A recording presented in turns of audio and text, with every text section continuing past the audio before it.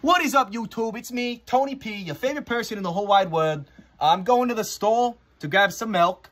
So if anybody needs anything, let me know in the comments section below. I'll be back in a jiffy. Also, if you're a girl, please leave a comment. And if you have money to Venmo me, please let me know how much money you have in the description comment section below. Thank you.